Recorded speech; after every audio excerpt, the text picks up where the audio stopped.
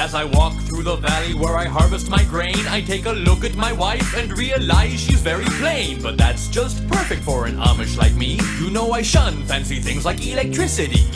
At 4.30 in the morning, I'm milking cows. Jebediah feeds the chickens and Jacob plows. Fool, and I've been milking and plowing so long that even Ezekiel thinks that my mind is gone. I'm a man of the land, I'm into discipline. Got a Bible in my hand and a beard on my chin. But if I finish all of my chores and you finish thine, then tonight we're gonna party like it's 1699. We've been spending most our lives living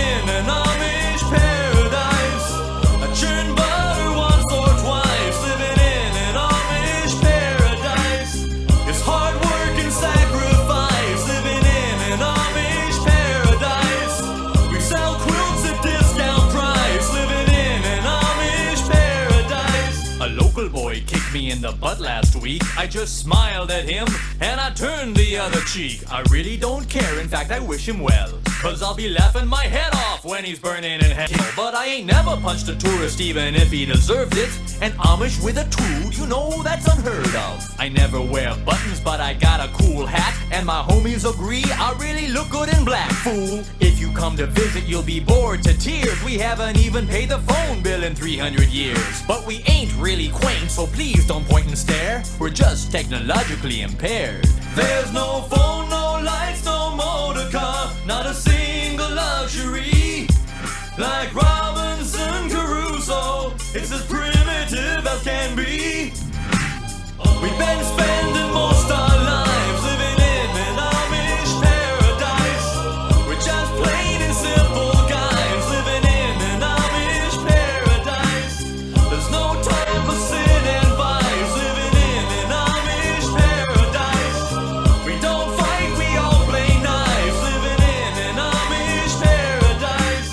Hitching up the buggy, churning lots of butter. Raise the barn on Monday, soon I'll raise another.